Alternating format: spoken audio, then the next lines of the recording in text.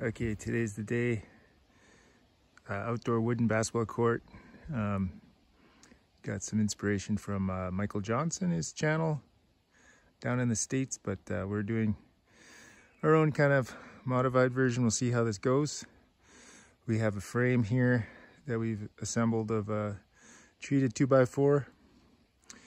I got uh, 10 yards of, of uh, crushed gravel and I got my deck boards. So I got lots of space here. We are going to do a 24 by 28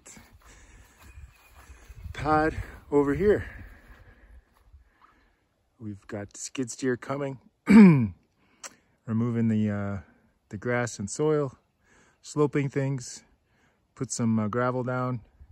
Then we're gonna drag this frame over, get it all set, and then we're gonna scoop gravel in between all the boards, tamp it down, make it nice and firm and level to the top of the boards so that when we put the deck boards on, they are touching the gravel. And that will be hopefully a nice uh, wooden basketball court.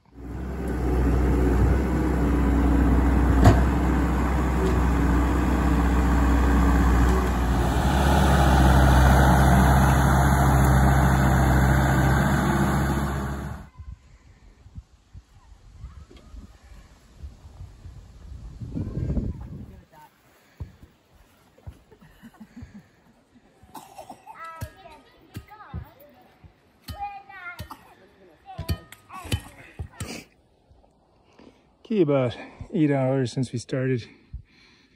Um, we've got tarred all the boards, gravel down, starting to put the boards down.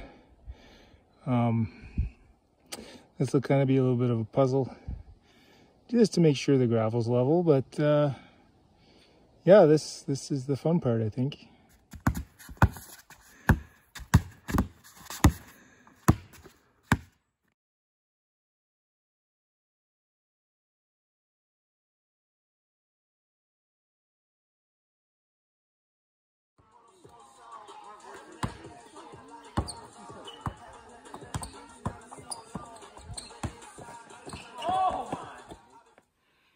Hey, so final thoughts. Here's the finished court.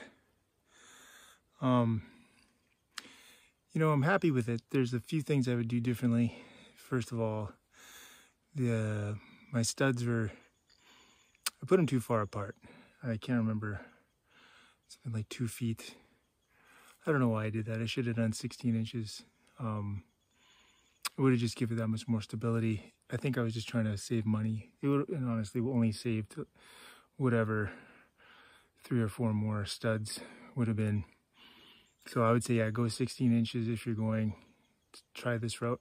I think the gravel's working well, but it is, again, just packing. So now I've been taking some of the boards off and some of the, the, the stuff where it's kind of packed down and adding more, which is totally doable, but just more of a pain. I wish it would have um, been able to just kind of have it nice and packed from the start. And I did pack it from the start, but uh, yeah, that having extra studs would have would have helped a lot more.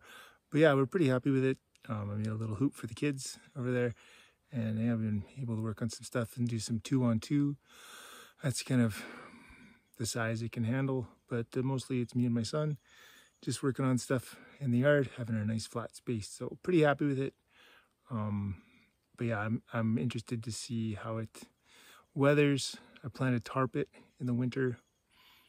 And uh, yeah, and I don't have any plastic underneath the boards. It's just the rain goes through, washes through the gravel and dries up. Um, and that's been working pretty well for the first month with a lot of rain. So anyways, thanks again to Michael Johnson for the idea. And I kind of took it a different way, but um, lessons learned. Pretty happy with it and uh, we'll continue to tweak it as we go along.